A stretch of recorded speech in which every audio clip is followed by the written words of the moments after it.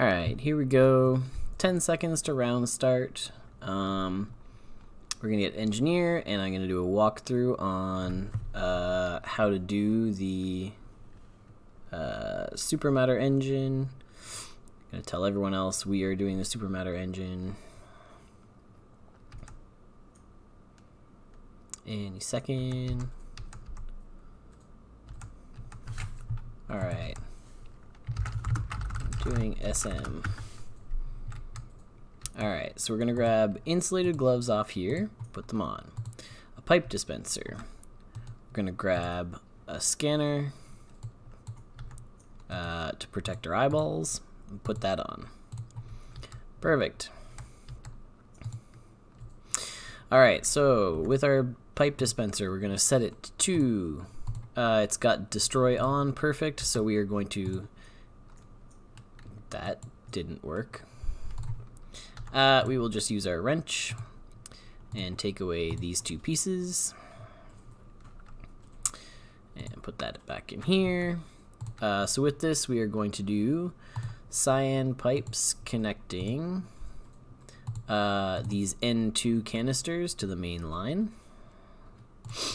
Uh, then we are going to uh, turn this off, disconnect it, uh, hold on. Uh,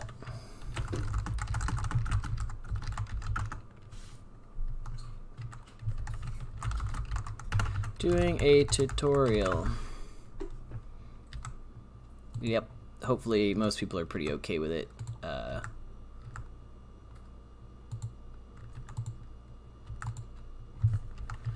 You got it.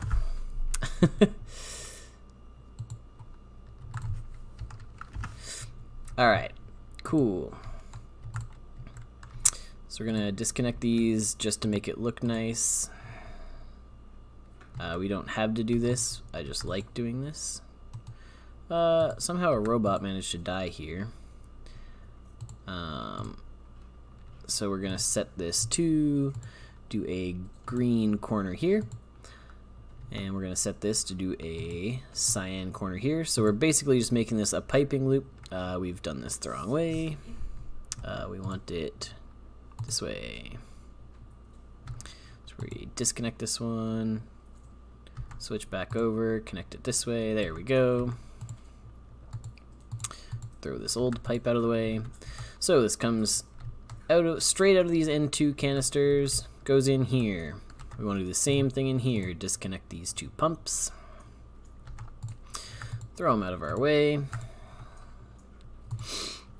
And we're going to do a straight pump in of cyan on the top and green on the bottom. The colors, by the way, don't actually matter. I just like making them color match. Uh, we'll put this back in here. Uh, we will disconnect this pipe as we don't care to connect any of this. We're going to take this guy out of the way. Don't want any of this, we just want straight pipe. So, for our pipe down, we do a straight pipe of green. Perfect. Um, this guy doesn't really matter. Uh, so, in case you're wondering, these Atmos pipes on the floor, if they are off, they act as a deadhead, so no gas is going this way anyway and that's what we want, so we don't really care. For these guys, it's more efficient to just have a straight pipe, so that's why we are disconnecting places where the gas will actually be going. So if you are wondering, these um, pipes go to the outside of the ship. So when we have our nitrogen and it feeds through this loop, we want it to go outside into space and it will loop around in all those pipes that you can see outside. And while it is out there, uh, it cools down very, very, very quickly. And then we want it to come back in. And hold on, why can't I find the right, is this brown? Yeah, well, close enough, whatever. Like I said, color doesn't actually matter. Okay, so when it comes up here, the nitrogen has now come out of those tanks, follow this green pipe down, it will go out here and over here. Um, once it comes up here, we want to make sure we're filtering the nitrogen and this is on, so the nitrogen gets filtered out the side. The rest of these don't really matter, but you can you might as well set them nitrogen and filter as well. But the first one, they're perfectly efficient, so all of it will get filtered this way. Alright, when it comes up here, we don't care. All of the extra gas will be going out here and out into space. When it comes this way, uh, we want to do the same thing where we're disconnecting these pumps that are in our way, getting them out of the way, and piping a straight line through here. And with that, we have set up the nitrogen loop. So this is how it's going to loop around. The next thing we want to do is go over to this room, um, and we're going to want these plasma tanks that are in this holder. So we're going to use the wrench to unbolt it from the floor and pull it with us over here just so it's a little bit quicker. And that's, I'm grabbing oxygen, that's not what we want we want plasma. One, two, three. So with these plasma tanks, uh, we're to drop this. We use them on this radiation collector array. So you can see they're slotted in there. That's that little orange piece. Uh, you have to be pretty narrow in where you're clicking, right along this little section here. Then you click them to turn them on. That's this little shield that should pop out. For an extra layer of security, you can take your station ID, click it on each of these on the same spot and you will lock the controls. So you can see all three were locked there. Now we're going to take this, drag it around, do the same thing on the other side. Right here. Just like we did before, we're going to grab one, two, three. Put them in each of these terminals. Turn each of them on. And then lock them with our ID. Alright, the last thing we're to do, we're to move this uh, out of here. We're almost finished setting this up. We are going to turn on the air scrubber. So, vent controls, we turn internal, not external, on, and zero. So we want all of them like this, internal, not external, on, zero, internal, external, on, zero. Perfect. That is our vent controls set up. Then we want to turn on our scrubber controls. Ignore all this. We're just turning it on siphoning and expanded for all three. And the rest should already be good. Filtering is on by default, and we don't care about anything else. So that is all of this setup. We know that these are siphoning because they are red.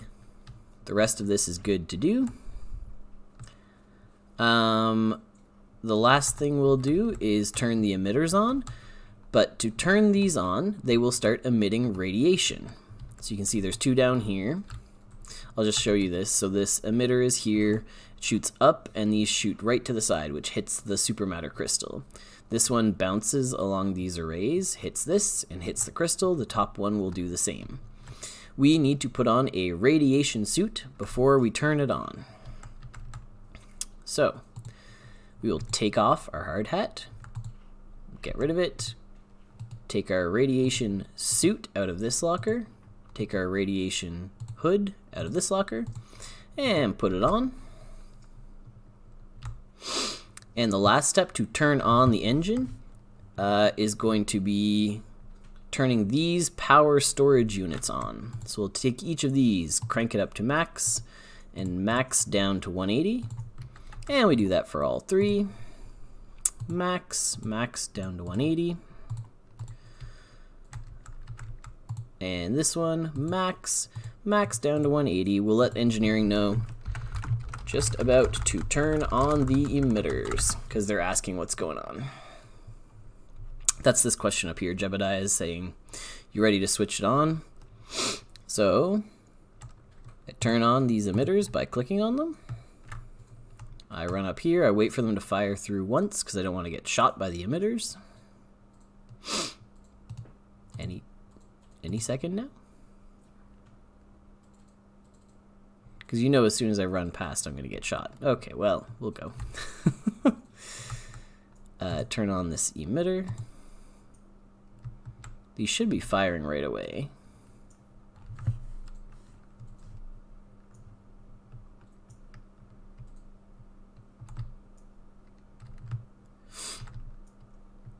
Not sure why the emitters aren't firing. Uh, nope. Not sure why emitters aren't firing though.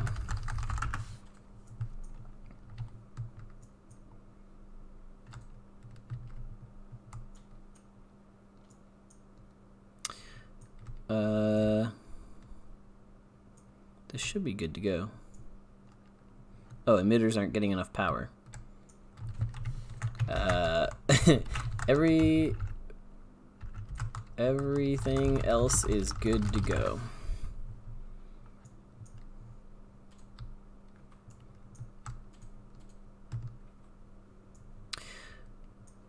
Alright, so this is a new step for me. Previously, somebody else has set up the Take the plasma generator, hook it up to a wire with the emitters. That would be this guy.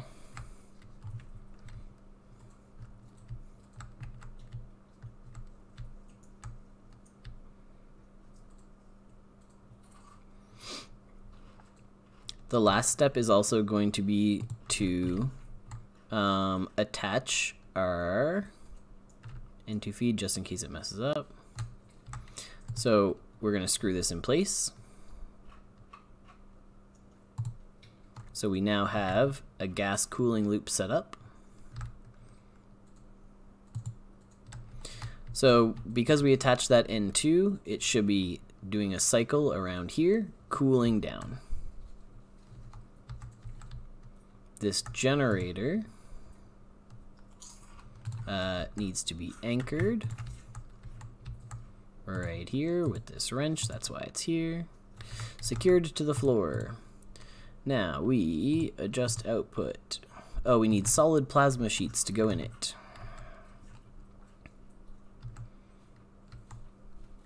Get the plasmas from the secure storage room just outside the or inside the crate. We uh, helpfully have someone telling us what to do, which is kind of nice. as this is a section of the SM that I have not set up before. So the rest of this should be good to go. We put these in here. And we take a bit of our wire and we wire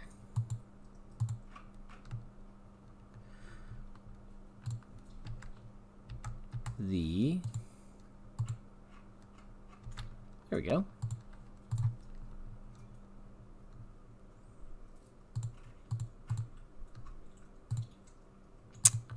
Uh...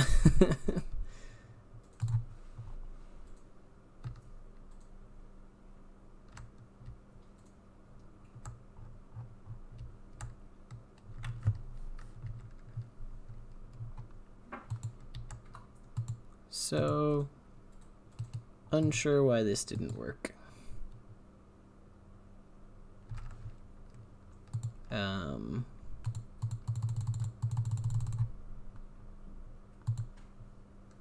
That should... Yeah, there we go.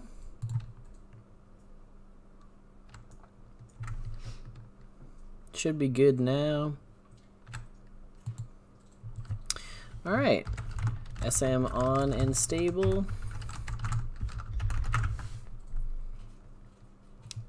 Double checking. We're going to make sure that this is approved by the people on this station. That should be okay. There we go. All right. Um, I mean, a bit of a delay there at the end to get stuff set up, but that was from start to finish, little under 15 minutes to get the SM set up. That's not too bad. All right.